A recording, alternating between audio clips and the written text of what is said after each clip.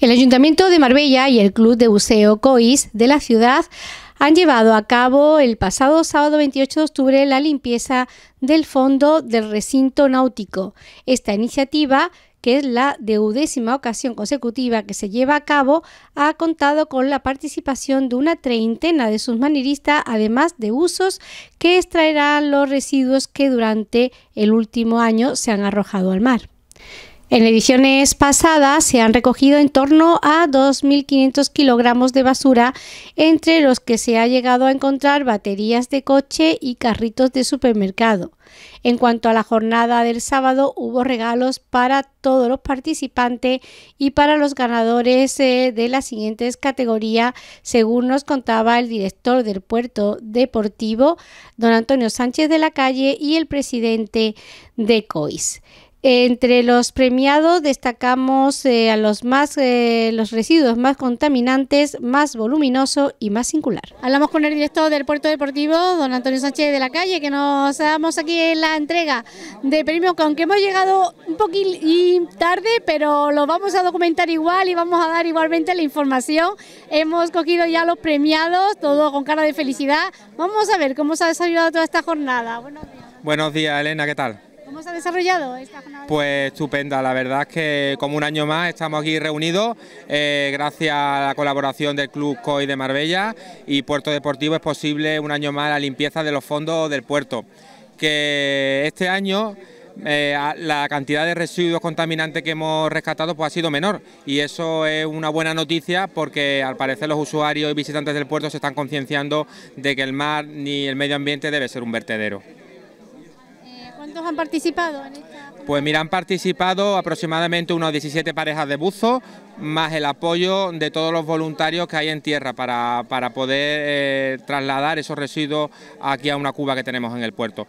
Si quieres te vamos a presentar a Salvador, Salvador el presidente del COI, que nos va a explicar los datos técnicos y en qué ha consistido la jornada. Muchas gracias. Bueno, Salvador, enhorabuena por este gran trabajo. La verdad es que hay que concienciar todavía a muchas más personas para que los residuos, no solamente en el mar, sino en el día a día, porque eso nos va a perjudicar el medio ambiente.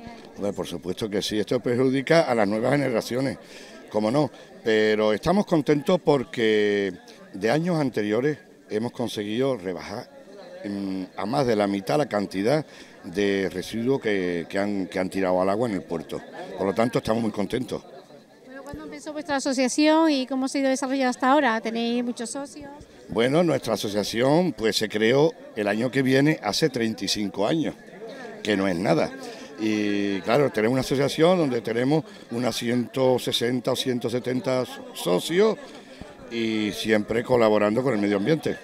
Bueno, somos muy curiosos. ¿Qué se ha recogido? Cuéntame las cosas más curiosas que había encontrado en el fondo marino. Bueno, hay de todo, pero es, curioso que hemos encontrado, le hemos dado un premio a lo más algo singular, en este caso una muleta, una muleta pero no de torero, ¿eh? una muleta de una persona que la ha necesitado por tener la pierna partida o algo así y cuando ya no la ha necesitado al agua. Hemos encontrado varios relojes y solo... Contaminante a batería. Solo dos baterías. Mm. Eso mm, nos llena de satisfacción porque de sacar muchas baterías en el transcurso de, este evento que hacemos ha sacado, pues muy contento. El cofre del tesoro no, todavía no ha aparecido, ¿no? Es que los tesoros no los tenemos calladitos, eso.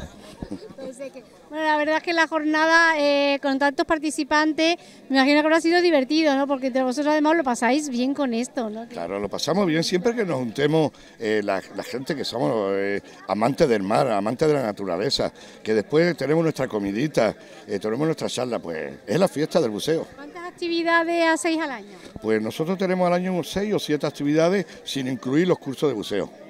Entre ellas fotografía submarina, vídeo submarino, eh, la Virgen del Carmen, eh, fotografía terrestre, no, paramos en todo el año.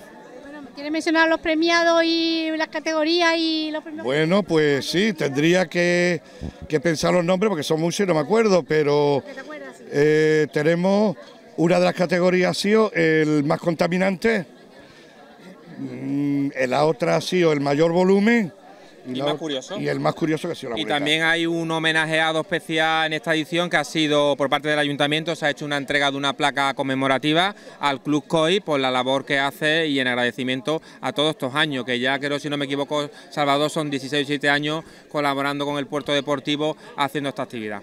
Realmente sí, son 17 mm, oficialmente, pero antiguamente, todavía, antes de estos 17 lo seguíamos haciendo. Pero sí, son muchos años ya. Pues enhorabuena y que sigáis haciendo cosas tan bonitas como esta y nosotros vendremos a, a veros y a seguiros. Así que muchísimas gracias. Gracias a vosotros, como siempre. Eh, eh, enhorabuena a todos.